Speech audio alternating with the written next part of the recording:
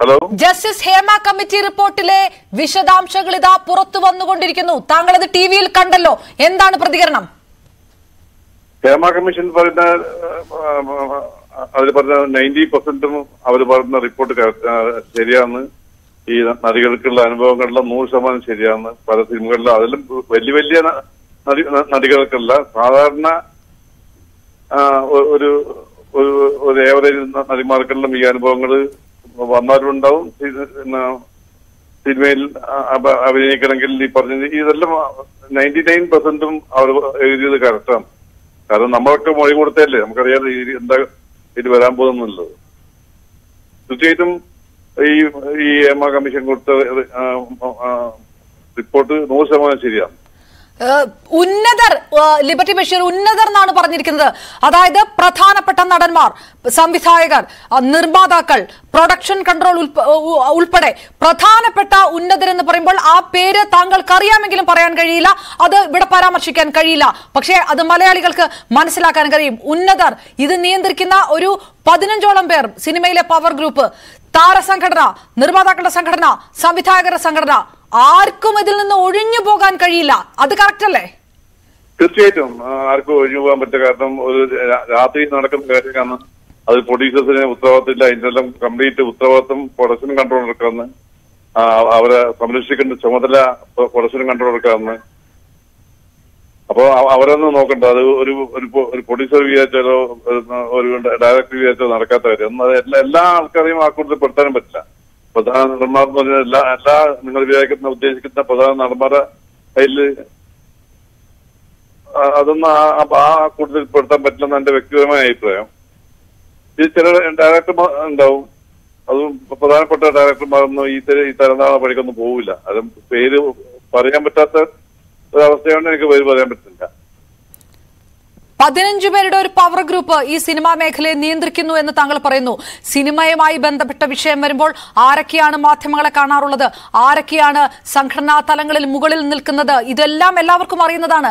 ഈ പവർ ഗ്രൂപ്പിനകത്ത് പ്രധാനപ്പെട്ട പല പേരുകളും ഉണ്ടാകില്ല. ഞാൻ ഉദ്ദേശിക്കുന്നത് എന്ന് താങ്കൾ പറയുമ്പോൾ ശ്രീ ലിബർട്ടി ബഷീർ അത് കേൾക്കുന്നവർക്ക് എല്ലാവർക്കും അറിയാം. ഇനി ഏത് പേരുകൾക്ക് ഇതിനകത്ത് നിന്ന് മാറി നിൽക്കാൻ കഴിയും? താങ്കൾക്ക് ഇനി ഒരുപക്ഷെ ലിബർട്ടി ബഷീർ താങ്കൾ വിചാരിച്ചാൽ പോലും ആരെയും ആരെയും സംരക്ഷിച്ചു പോലും നിർത്താൻ കഴിയാത്ത രീതിയിൽ ഈ റിപ്പോർട്ട് പുറത്തു വരികയാണ് ഇപ്പോൾ ഒരു കാര്യം നിങ്ങൾ മനസ്സിലാക്കണം. എന്ത് റിപ്പോർട്ട് വന്നാലും മലയാള സിനിമയിൽ നിയന്ത്രിക്കാൻ വേണ്ടിട്ട് മലയാള സിനിമയും ഇന്ത്യൻ സിനിമയും ഉള്ള കാലത്തോടെ നമുക്ക് നിയന്ത്രിക്കാൻ പറ്റില്ല.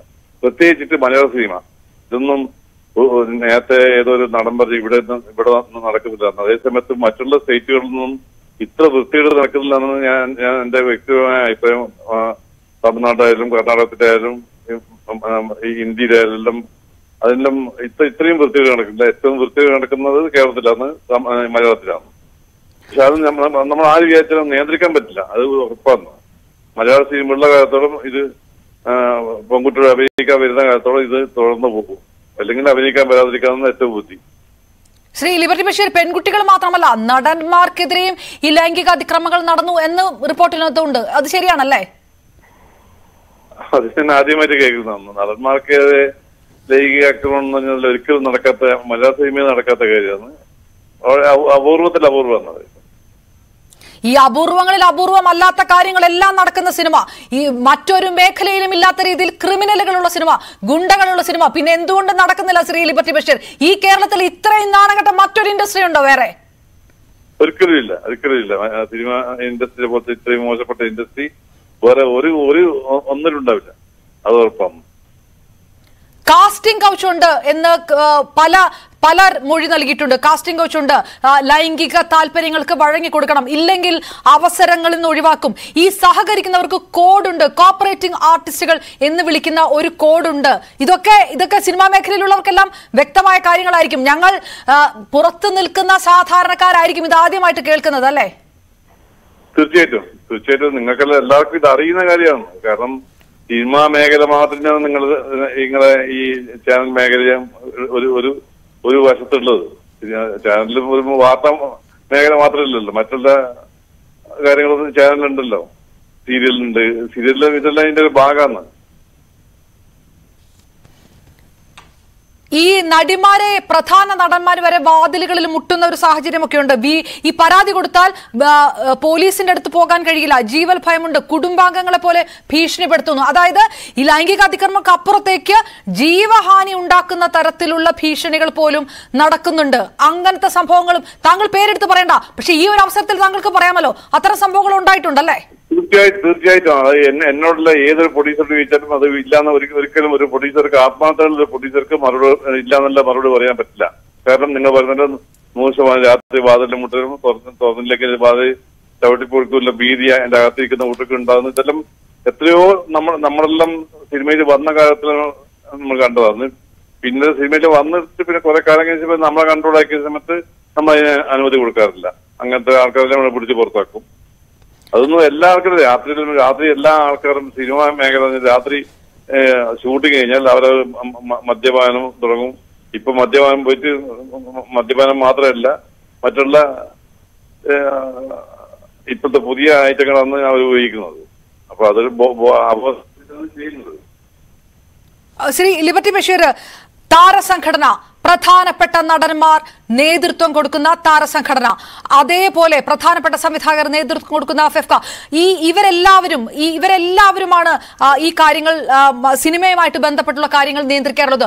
ഇവരൊന്നും അറിയാതെ ഇതെല്ലാം നടന്നു എന്ന് വിചാരിക്കാൻ കഴിയില്ലല്ലോ. അതായത് ഈ പേരുകളെ ഒന്നും ഒരു പേരും പറഞ്ഞില്ലെങ്കിലും ഒരു പേരുകളെയും ഒഴിവാക്കി നിർത്താൻ കഴിയില്ല. പ്രധാനപ്പെട്ട സംഘടനകൾക്കെല്ലാം ഇതിനകത്ത് ഉത്തരവാദിത്തമുണ്ട്. പ്രധാനപ്പെട്ട നടന്മാരടക്കമുള്ളവർ ആ സംഘടനയുടെ നേതൃനിരയിലുണ്ട്. എങ്ങനെ മാറ്റി നിർത്താൻ കഴിയും? അതെങ്ങനെ മലയാളി വിശ്വസിക്കും ഇനി?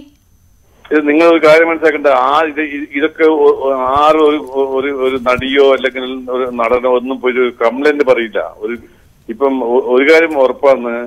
ഒരു അമ്മയിൽ കംപ്ലൈന്റ് നടപടി എടുക്കും. മറ്റേ ഫെഫ്കയിൽ കംപ്ലൈന്റ് ചെയ്ത നടപടി എടുക്കും.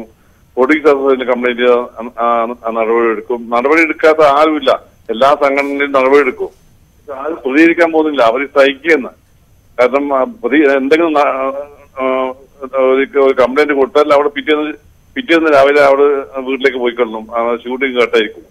ഷൂട്ടിങ്ങിൽ ഉണ്ടാവില്ല. ലൊക്കേഷന് പുറത്തു കൊണ്ടിരിക്കും അപ്പൊ അത് ഭയന്നിട്ട് മിക്കവാറും എല്ലാവരും നിശബ്ദമായിരിക്കും വല്ലാത്ത ഒരു കഷ്ടപ്പാട് തന്നെയാണ്. നിങ്ങൾ പറയുന്ന നൂറ് ശതമാനം ശരിയാണ് വല്ലാത്ത അവസ്ഥയിൽ അവരുള്ളത്. ഇപ്പം ഇപ്പെല്ലാം വളരെയധികം ചുരുങ്ങിയ. പഴയകാലത്തെ ഒരു ഒരു അഞ്ചു വർഷമുള്ള അവസ്ഥയല്ല ഇന്നുള്ളത്. ഇന്നലെ കുറെ അധികം മാറ്റം വന്നിട്ടുണ്ട്. ഈ എമ കമ്മീഷൻ വന്നതിന് ശേഷമുള്ള അവസ്ഥകളിലും പലതും മാറിയിട്ടുണ്ട്.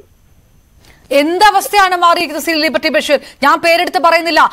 പ്രമുഖ നടന് വേണ്ടി നടനെതിരെ അഭിപ്രായം പറഞ്ഞതിന് ഒരു യുവ നടി ഫീൽഡ് ഔട്ടായി. അത് ആരാണ് ഫീൽഡ് ഔട്ട് ആയത് ആ ഏത് നടിക്കെതിരെയാണ് സൈബർ ആക്രമണം വന്നത്? ഏത് നടനെതിരെയാണ് ആ നടി പറഞ്ഞത്? ഈ മലയാള സിനിമ കാണുന്ന എല്ലാ പ്രേക്ഷകർക്കും അറിയാം. ആ രീതിയിൽ എത്ര എക്സാമ്പിളുകൾ ഹേമ കമ്മിറ്റി റിപ്പോർട്ടിൽ വരുന്നു? സൈബർ ആക്രമണങ്ങൾ ആർക്കെല്ലാം എതിരെ നടന്നു? എന്ത് മാറ്റമുണ്ടായി? പ്രധാനപ്പെട്ട ഡബ്ല്യു സി സി വരുന്നു. അതിനകത്ത് പറഞ്ഞ പല നടിമാരും എവിടെ? അവരെന്തുകൊണ്ട് മലയാള സിനിമയിൽ ഇപ്പോഴില്ല? എങ്ങനെ അവർ ഫീൽഡ് ഔട്ടായി ആരവരെ ഒഴിവാക്കി? എന്ത് മാറിയെന്നാണ് ശ്രീ ലിബർട്ടി ബഷീർ താങ്കൾ പറയുന്നത്? ഇവിടെ മലയാള സിനിമയിൽ ഒരു അദൃശ്യ ശക്തി ഇപ്പോഴും വർക്ക് ചെയ്യുന്നുണ്ട്. അത് ഇന്ന സംഘടന എന്നില്ല അദൃശ്യ ശക്തി എപ്പോഴും സിനിമകളുടെ കാര്യത്തോടെ ഉണ്ടത്. അത് സത്യം തന്നെയാണ്. അദൃശ്യ ശക്തി ഇതിനെ നിയന്ത്രിക്കുന്നുണ്ട്. അത് എവിടെങ്കിലും ആരെങ്കിലും ഒരു കംപ്ലൈന്റ് കൊടുത്താലോ അല്ലെങ്കിൽ ആരെ പറ്റി ഒന്ന് പ്രതികരിച്ചാലോ അവർ ഓട്ടോമാറ്റിക്കായിട്ട് ആ സിനിമ സിനിമയിൽ നിന്ന് മാറും. സിനിമ സിനിമയിൽ ജീവിതത്തിൽ സിനിമയിൽ അഭിനയിക്കാൻ പറ്റില്ല.